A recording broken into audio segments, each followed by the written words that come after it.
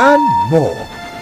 But there aren't much yellow engines on the island. Rebecca is one of these yellow engines. One day, while Rebecca was pulling the express, she saw another yellow engine pass her by.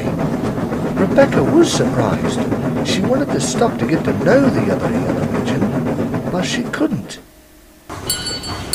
Rebecca puffed into Vicarstown. She waited till her passengers disembarked. Emily then puffed up. Hello, Emily. I just saw another yellow engine.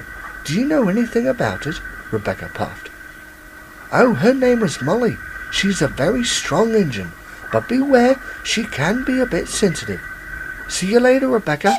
And Emily chuffed away. Rebecca was excited. So excited, she nearly left without her passengers on the train. Stop, Rebecca, called the station master. Later, Rebecca was at Knapford Yard resting when Sir Topham Hatt walked up. Good afternoon, Rebecca. There is a goods train waiting at Elsbridge. Please go and collect it. And he walked away. Then Molly puffed in, backing onto her empty trucks. Hello, are you Molly? puffed Rebecca. Yes, yes, I am, she said quietly. I'm Rebecca. I've heard a lot about you from Emily. I was wondering if we could be friends, said Rebecca kindly. Molly glared at Rebecca and then puffed away.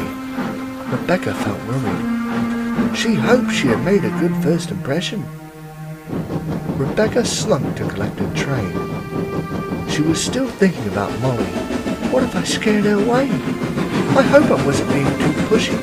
Oh dear, she will never talk to me again.